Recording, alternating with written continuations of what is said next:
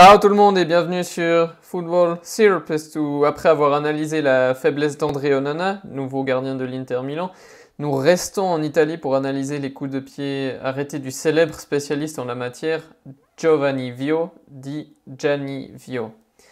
Cet ancien banquier a notamment travaillé pour plusieurs clubs italiens dont la Fiorentina et l'AC Milan, mais aussi des clubs anglais comme Leeds et Brentford avant d'accompagner Mancini avec l'équipe d'Italie. Annoncé par la presse du côté du Tottenham euh, d'Antonio Conte, Gianni essayera donc peut-être d'honorer la statistique qui explique sa réputation. Ces équipes font toujours partie de celles marquant le plus de buts sur coup de pied arrêté. On va le découvrir pourquoi dans cette vidéo. Commençons par les coups francs, et plus particulièrement les coups francs relativement centrés. Comme indiqué, il n'est pas rare de voir les équipes de Gianni former deux murs dans ces situations, un juste devant celui de l'adversaire et un autre plus loin derrière. Le premier sert à masquer les joueurs du mur adverse qui ne verront qu'au dernier moment le, ballon arriver, puisque les Italiens en question vont, se baisser au départ du tir, tandis que le deuxième sert, euh, sert, lui à masquer le gardien qui pourrait autrement voir le ballon en regardant en direction du, trait blanc dessiné. Ce mur va cependant disparaître un peu avant le coup franc pour éviter euh, un hors-jeu après un possible rebond. Ces trois joueurs vont donc venir déranger les adversaires se trouvant sur la, même ligne du mur défensif, ce qui va notamment élargir l'espace entre les deux Gallois mis en évidence.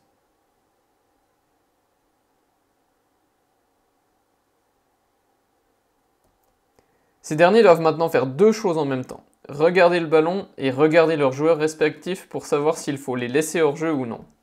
Leur tâche va cependant se compliquer davantage puisque les Italiens vont réaliser un autre trick de, de Gianni Vio, feinter le coup franc.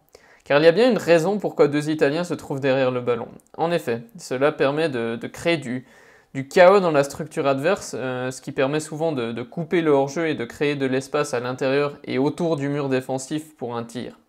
Le mur italien va lui se baisser pour surprendre les Gallois.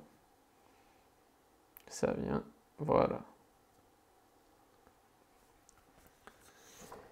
Sur le deuxième coup franc, on remarque que les Gallois refusent de se positionner plus bas malgré la présence de deux Italiens derrière eux. Et c'est tout à fait compréhensible car s'ils se positionnaient trop bas, bah, il y aurait euh, beaucoup d'espace devant leurs 16 mètres pour les deux Italiens euh, mis en évidence. mais en plus des, deux joueurs initialement en position de hors-jeu qui vont venir en arrière perturber les défenseurs, on va retrouver à nouveau la feinte des deux joueurs derrière le ballon. Voilà, ça vient. Le rôle de ces derniers n'est d'ailleurs pas anodin puisque le gaucher Bernardeschi a ici tout intérêt à, laisser le, coup franc au droitier Verratti pour que l'angle vers le but soit, ensuite plus petit pour celui qui, le recevra en raison de, la courbe de la trajectoire. Leur feinte a aussi permis de, de, casser la ligne défensive galloise en faisant reculer Gareth Bale et Connor Roberts qui va ensuite couper le hors-jeu. Trois Italiens pour seulement un Gallois vont se retrouver sur la trajectoire du centre, dont Pessina qui va marquer en partie grâce à son intelligence. Euh, en effet, le joueur de l'Atalanta est ici le joueur italien le plus proche de la ligne du premier poteau, alors qu'il avait pourtant déjà commencé sa course à ce moment-là. Il respecte donc très bien la règle de ne pas se projeter trop vite dans l'espace libre, ce qui va lui permettre de mieux frapper le ballon, car sa course n'est justement pas trop verticale.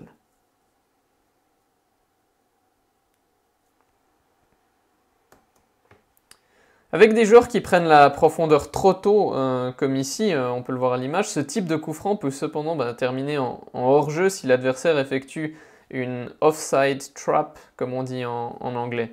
La solution de secours dans cette situation, euh, c'est de jouer un long ballon vers le, deuxième poteau, car ça laisse plus de temps aux coéquipiers de, réagir, notamment ici à, à Gonzalo Rodriguez qui ne sera lui pas hors-jeu.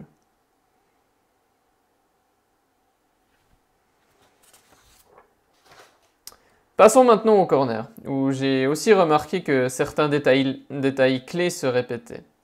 En effet, les équipes de Gianivio semblent à, l'aise pour marquer depuis la zone devant le, premier poteau, surtout quand le positionnement de, Rodrigo Bentancur agrandit cet espace, euh, comme on peut le voir ici.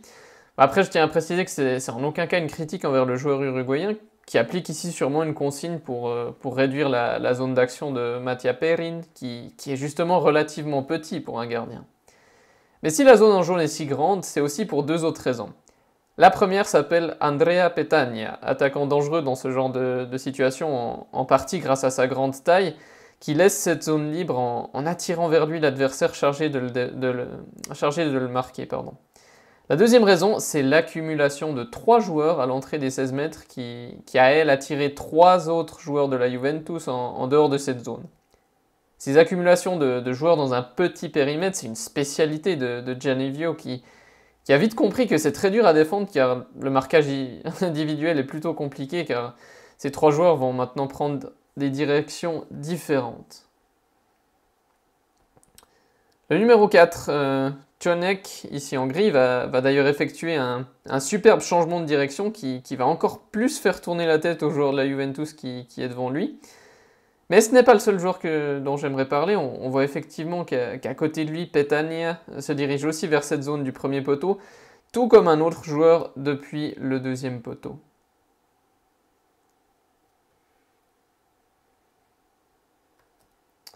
Quatre joueurs sont donc maintenant parfaitement alignés sur euh, la trajectoire du ballon, tandis qu'un joueur serait prêt à reprendre le, ballon au deuxième poteau et, devant le gardien si, nécessaire.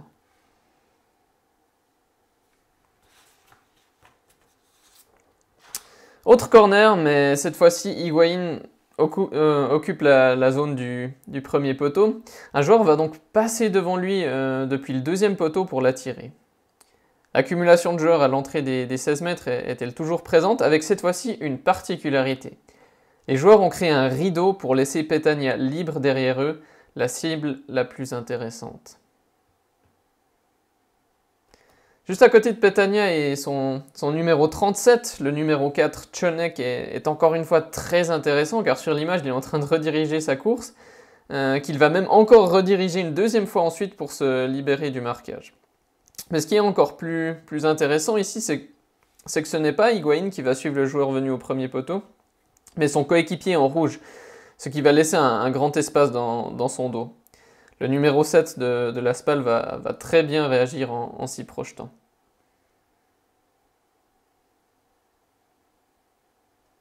Donc encore une fois, un joueur serait disponible au deuxième poteau et, devant le gardien, tandis qu'il y a cette fois-ci une supériorité numérique au, premier poteau avec ce 4 contre 3 qui, montre encore une fois que les joueurs de Gianivio s'alignent bien sur la trajectoire du ballon. Il est d'ailleurs important de préciser que pour ce genre de centre au premier poteau, il vaut mieux utiliser un, droitier comme ici pour réduire l'angle vers le but euh, de, la tête, euh, de la tête en question. Ceci étant dit, un gaucher peut très bien se charger aussi des, corners depuis la droite à, condition qu'une autre combinaison soit, choisie comme, ici un entraînement de, de Gianni L'option généralement choisie est, un centre capable de parcourir la ligne des 5 mètres euh, jusqu'au deuxième poteau avec des joueurs se répartissant entre différents couloirs.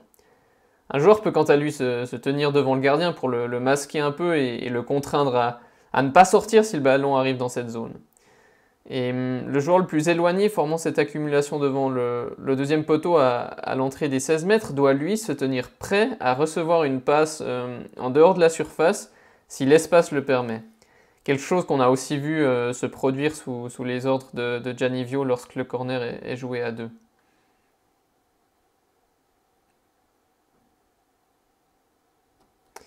Voilà, c'est déjà tout pour moi. N'hésite pas à t'abonner pour t'assurer euh, de ne pas manquer du contenu similaire. Et si tu as aimé la vidéo, n'oublie pas de me lâcher un like, de me le dire dans les commentaires et de partager la vidéo avec quelqu'un que tu connais. Ça m'aiderait vraiment beaucoup. Plus que tu ne le crois. Ciao ciao